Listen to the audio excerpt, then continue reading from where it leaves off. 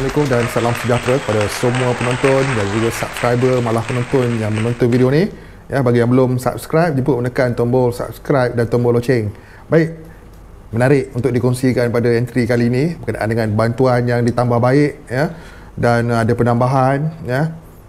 Tahniah diucapkan kepada yang uh, menerimanya. Jadi jom kita pergi apakah bantuan tersebut.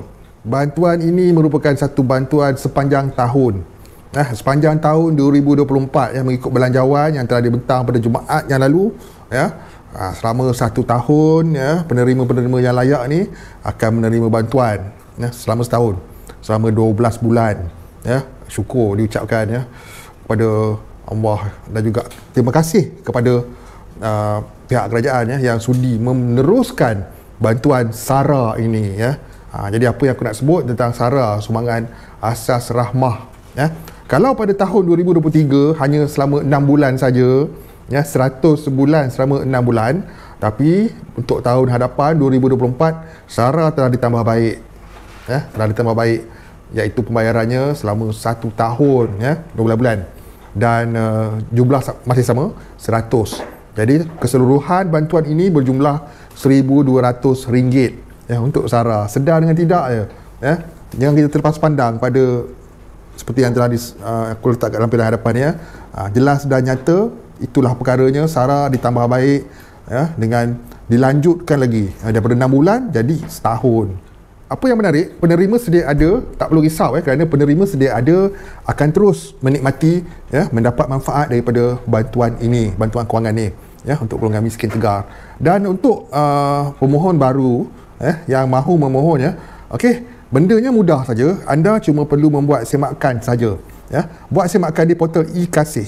Ya, e-kasih dulu. Ha, daripada e-kasih, tengok adakah nama anda ada dalam senarai nama e-kasih itu. Ha, ya. Dan selepas tu baru forward kepada my kasih. Tengok ada ke tidak. Ya, ha, benda tu bersaling kait e-kasih dengan my kasih.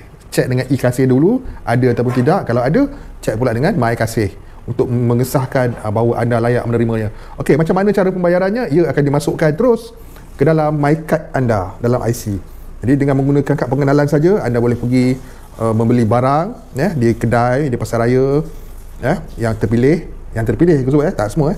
Yang terpilih ada senarainya nanti dalam portal dan uh, dengan menggunakan IC saja. Pop ya. Uh, dia bertindak seperti e-wallet juga. Cuma dalam MyCard ya untuk pembelian secara luar talian ha, bukan pembelian online. Pembelian online tak boleh.